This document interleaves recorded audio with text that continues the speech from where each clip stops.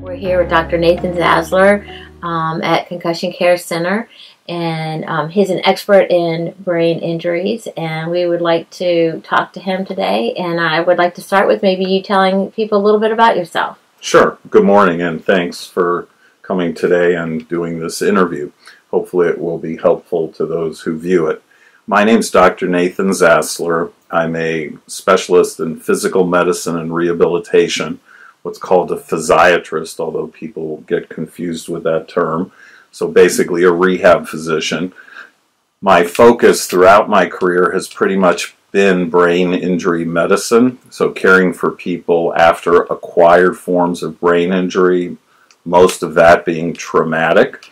And um, I did fellowship training at VCU after finishing my residency there, and then stayed on at VCU for a number of years in academic medicine, and then transitioned to private practice, have worked at Sheltering Arms, which I'm sure most people know, and then opened my own clinic called Concussion Care Center of Virginia, and that was in 1992. And in 1998, started a program called Tree of Life, which does long term care for more catastrophic or severe brain injury patients, and also what's termed transitional neurorehabilitation, which is a type of rehab after the acute care rehab hospital to continue working on therapeutic goals and rehabilitation with the goal of getting the person back to home or community and back to work. Well, thank you. And so tell us a little bit about what you're doing today at Concussion Care Center. So, Concussion Care Center focuses on outpatient management of brain injury related problems. So, that can be anywhere from milder injuries or concussions to outpatient follow up of people who've had more severe brain injuries, moderate to severe, and even people with so called disorders of consciousness. So, the focus of this practice is probably predominantly post concussive care. So, evaluating, determining if the problems are related to the concussion, um, determining what other injuries the person sustained. So, one of the things we see commonly with those patients is neck injuries, so called whiplash. And oftentimes that's inadequately assessed by clinicians and often is a origin of symptoms that get missed and inappropriately labeled as post concussive. So, headache being the big one oftentimes from the neck, not from the concussion, um, hmm. as one example. Um, concussions can cause an array of symptoms. They can cause visual symptoms. They can cause problems with your inner ear, what's called the vestibular system. They can cause audiological symptoms, so problems with hearing, like tinnitus or buzzing in the ear, headaches, as I mentioned before, mm-hmm. very common noise and light sensitivity, also quite common, sleep problems. They can even have smell loss, which is um, a challenging problem because people don't realize how much they rely on their smell till they don't have it. Um, those are probably some of the more common problems that I deal with in my everyday practice. What type of treatment, I should say, um, Treatment approaches are variable depending upon which of those issues are problematic. So, for example, with headache, if it's migrainous, you treat it one way. If it's coming from irritation of nerves in the back of the head, what are called the occipital nerves, that's treated typically through either what's called neuromodulation, so external stimulation of the nerves, or injection therapies, which I do here in the office. Mm-hmm. Um, you can also have um, PT interventions, physical therapy interventions for cervicogenic headache.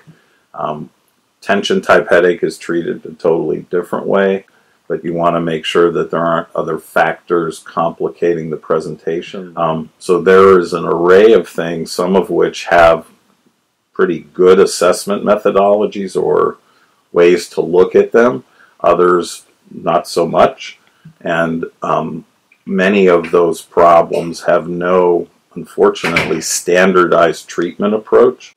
But for most of them, there are treatment approaches. There's just not consensus as to what's the best way to manage some of those problems. Problems.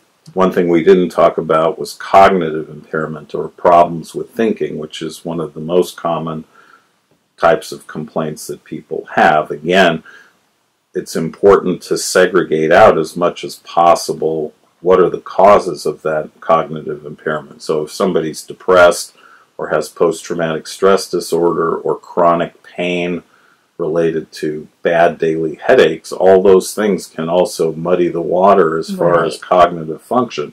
So part of addressing the cognitive aspects is really making sure you've treated all the other things, sleep being another Mhm. big one. How long does a concussion last? What What's the the time frame generally that you're speaking about? as far as the typical time course or what we call natural history of concussion recovery, most people after a single concussion, which is important to make that caveat, get better within days to weeks.